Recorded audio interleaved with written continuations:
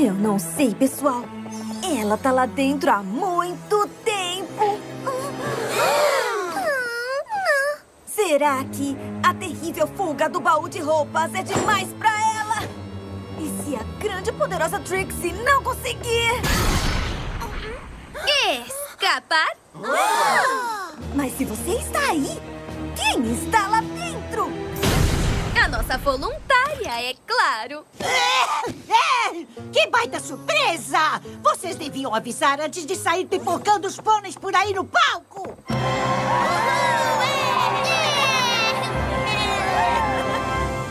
Trixie, o show foi maravilhoso. A Flurry Hat e eu adoramos. Ainda bem que a gente decidiu vir. Vocês duas têm muita química. A terrível fuga do baú de roupas requer uma grande e poderosa assistente. Do jeito que vocês trabalham juntas, é como se se conhecessem há tanto tempo quanto a Twilight e eu. Foi muito divertido. É claro que foi. Não existe nada como um laço com outro pônei. Dá pra compartilhar todo tipo de coisa. Luz do sol, luz do sol, acorda, Joaninha. Bata os cascos e dá uma balançadinha. Eu acho que vamos ficar com a mágica por enquanto. A grande e poderosa Trixie não recita. Eu adore fazer os meus shows solo, é sempre bom vir a Ponyville e me apresentar com a minha grande e poderosa assistente. A Cadence tá certa. Nós trabalhamos bem juntas. Fazer um show com você é quase tão divertido quanto orientar os alunos na escola da Twilight. O que eu deveria estar fazendo agora? A gente se vê depois. Episódio A Estrada para a Amizade. Com licença, senhorita poderosa. Geralmente os pôneis só me chamam de Trixie. Mas senhorita poderosa tem um charme. Daqui até a Arábia Selada, nunca vi nada comparável ao seu maravilhoso show. Consideraria agraciar a minha terra natal com ele? Eu tava mesmo saindo numa grande turnê. Ah, mas a Arábia Selada é muito mais longe do que a minha rota normal. E é, o meu trailer pode não aguentar uma viagem tão longa assim. O meu é novo e muito espaçoso. Se ajudar a convencê-la, seria um imenso prazer trocar pela sua. Quer trocar? Isso nunca!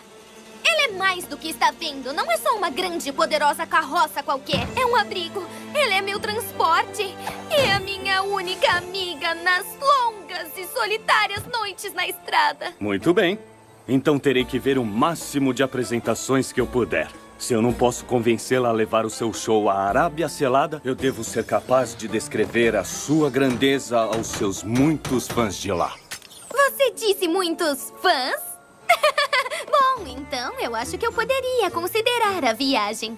Maravilhoso! Estou ansioso para te ver na estrada. E se você mudar de ideia sobre as carroças, minha oferta continua de pé. Acontece que é longe demais. É claro que eu adoro visitar lugares novos e empolgantes. Afinal, eu sou uma mágica itinerante, não é? Hum, parece que você já se decidiu. Não muito. A estrada é muito solitária. E essa viagem é ainda mais. Então eu esperava conseguir convencer minha grande e poderosa assistente a ir comigo. É sério? É claro! Você não é só a minha assistente e conselheira, também é minha amiga. E o que pode ser melhor que viajar com amigas? Nada! Essa vai ser a melhor turnê mágica de todas! É melhor eu pedir pra alguém me substituir na escola enquanto estamos fora.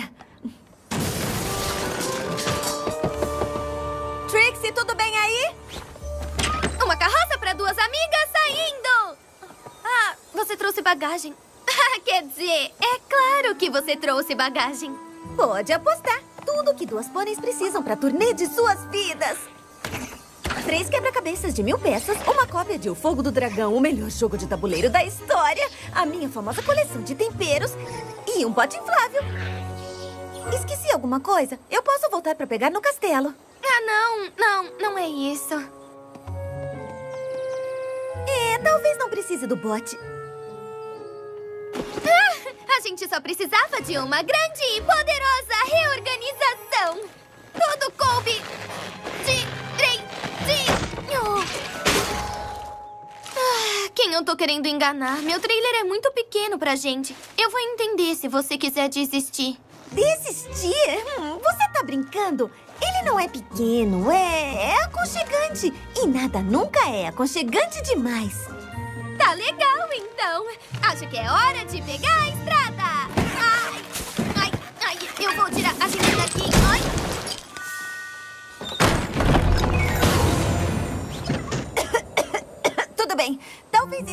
alguma coisa aconchegante demais.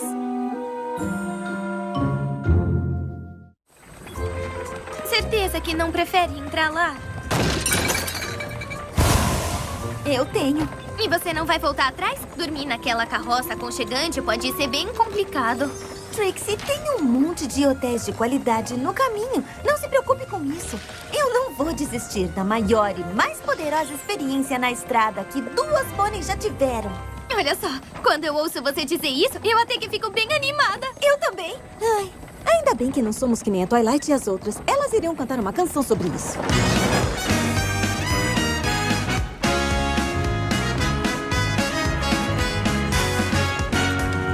É bom prosseguir viagem. O espaço é pequeno, eu sei. Mas é melhor que andar, né, Trix? Eu tô andando. Mas viajar nós nos conhecermos bem melhor. Porque se estamos juntas, nosso mundo é bem maior. É bom prosseguir viagem. Sempre amigas e unidas demais. Porque a nossa união nos faz querer seguir. Minha proposta para trocar de carroças continua de pé. O que ele disse? Nada. Nós não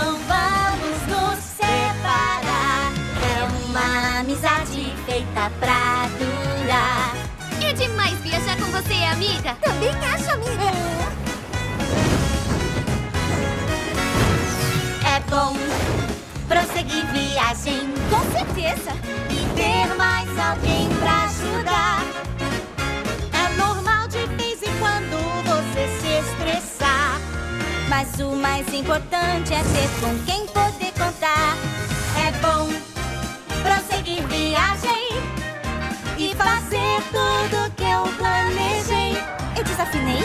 Que seja primavera, inverno, outono ou verão. Seremos sempre amigas, não importa a estação. Muitos anos. Amarradas nessa união. Tipo na corrida que a gente se amarra e corre em perfeito sincronismo pra vencer? A nossa união. Onde dois amigos não se livram um do outro porque estão algemados. Nossa união.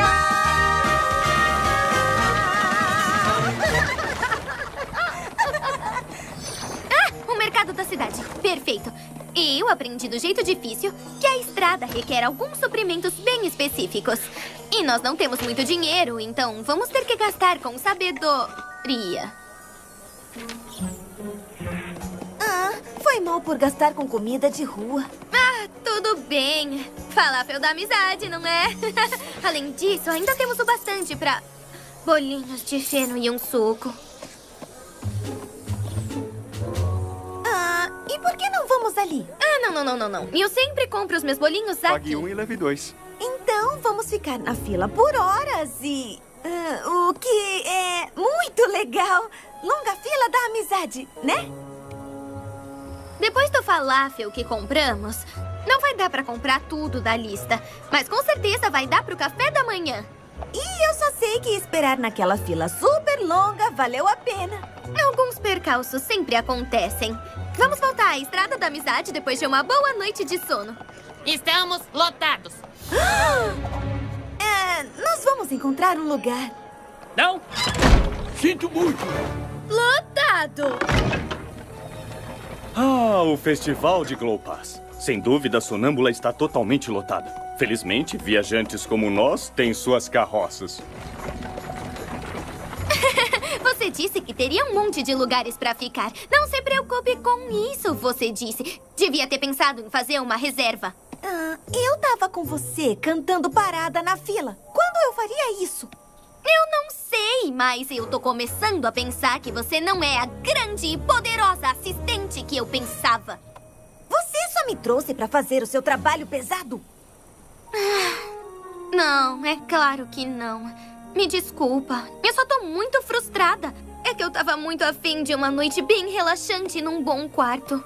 Ah, eu também. Ah, mas já que não existe nenhum quarto livre nos hotéis, eu acho que temos sorte de ter a carroça. Dormir no quarto apertado da amizade. Eba!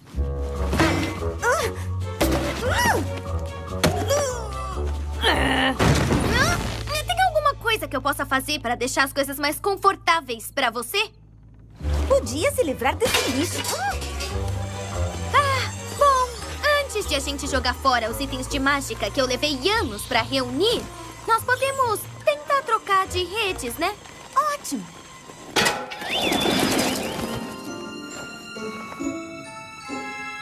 Starlight!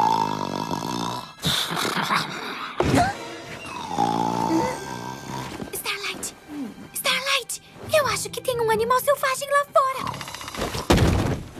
Starlight! Starlight! O que foi? Ah, me desculpa, é que o seu ronco tava meio... Alto?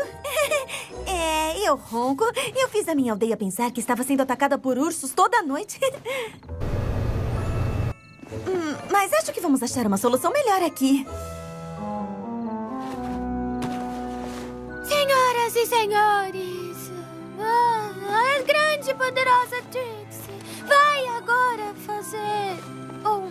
É sério? Preparem-se para ser...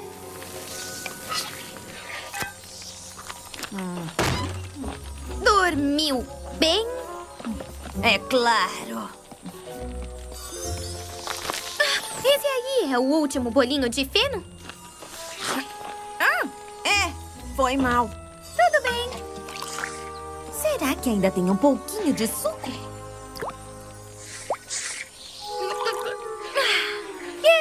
É, acho que vamos ter que reabastecer. Que manhã gloriosa! Nem sei dizer como estou ansioso pelo primeiro show da turnê. Ele vai ficar seguindo a gente o tempo todo. Eu não faço ideia. Ela tá lá dentro há muito tempo. Será que a terrível fuga do baú de roupas é demais pra alguém que bebe todo o suco e fala sem parar enquanto dorme?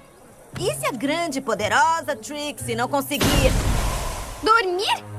Como se a companheira dela ronca como uma grande ursa? Mas se você tá aí, quem tá aí dentro?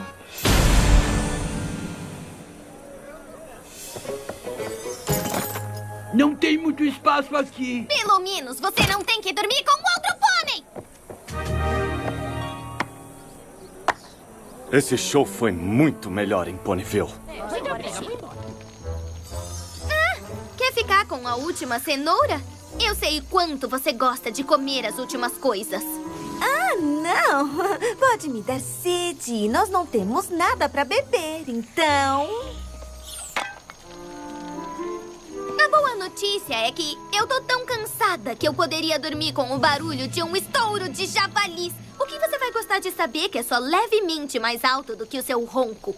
Bom, eu tô muito ansiosa pra ensaiar o número a noite toda com você. É muita gentileza você repassar de novo e de novo enquanto dorme. A prática leva à perfeição. Hoje não adiantou. Ah, então me desculpa se você tá tão infeliz. É sério? Porque se queria deixar tudo mais confortável, podia ter trazido menos coisas. Acha que você tá tão preocupada com o espaço?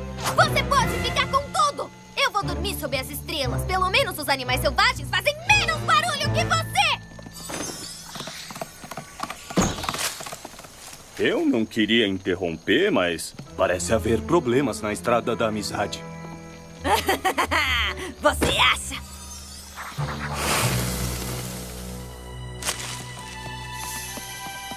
Onde é que tá minha carroça? Eu troquei a carroça pela daquele pônei da Arábia selada. Ele até me deu dois roupões. Você é o quê? Eu troquei aquela carroça velha e surrada que era pequena demais pra nós por esta nova, linda e mais espaçosa que nós duas podemos curtir. Mas ah, como, como? Quem disse que você podia fazer isso? Ninguém, eu só troquei.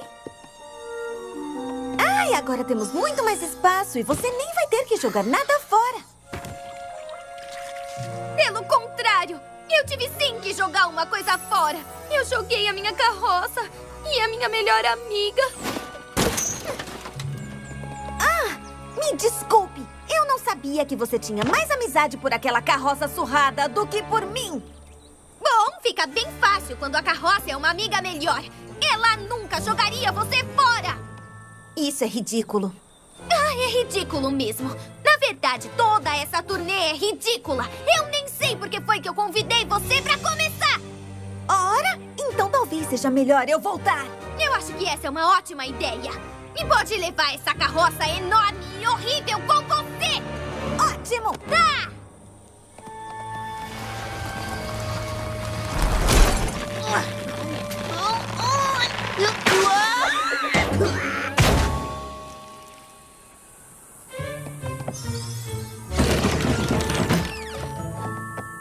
Minha nossa, senhorita poderosa. Mas onde está sua assistente?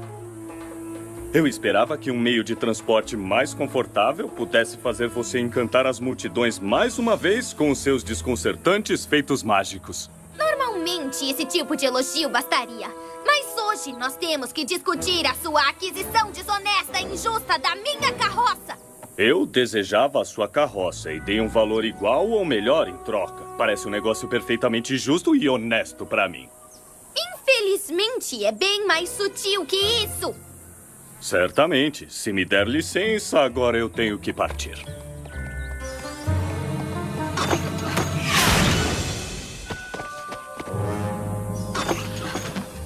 Eu estou disposto a esperar o quanto quiser. Ha! Isso é o que nós vamos ver.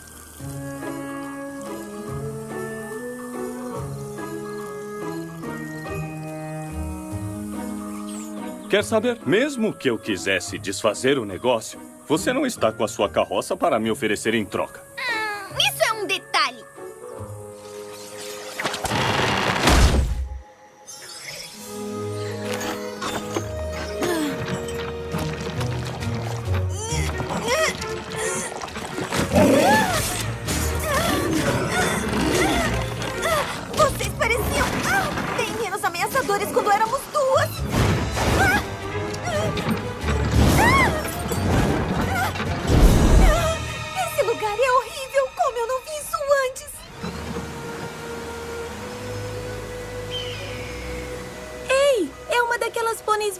Sua canção foi muito inspiradora e nós decidimos cair na estrada da amizade também. É melhor que a estrada das entregas. É, viajar juntas às vezes é difícil. E nos lembraram de que ela pode ser divertida. Valeu de novo! e lá vamos nós! Você quer uma bebida quente? Obrigada, mas não. O que estão fazendo? Defendendo uma causa, deitada bem aqui. Não que você se importe, sua trocadora de carroças. Receio não estar interessado, apesar da aparição conveniente da sua assistente. Trixie, eu voltei para me desculpar. Eu nunca deveria ter trocado a sua carroça. Ela nem era minha. Ela pertence à minha amiga. Hum, se eram realmente amigas, suponho que seja minha obrigação reverter essa troca. Tá bom, tá. Nós somos amigas, melhores amigas, com laços profundos, mas despreparadas para os desafios de uma viagem. Tá feliz? Eu ainda não me convenci. Talvez vocês possam provar a sua amizade. Mas como? Nós podemos recitar o nosso lema da amizade. Oh, é! O nosso famoso lema de amizade que nós fazemos o tempo todo porque nós somos ótimas amigas. Mágica nu nuvem de fumaça encantada. Balança os cascos e conta uma piada.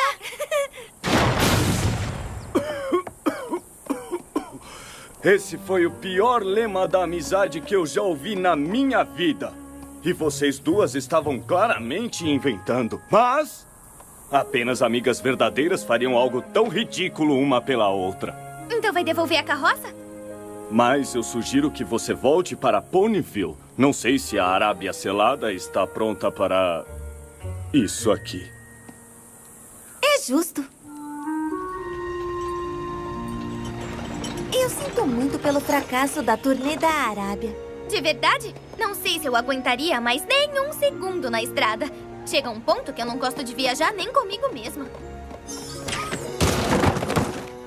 É muito mais difícil do que eu pensava, mas foi bom tentar. Assim sabemos que é melhor não fazer de novo.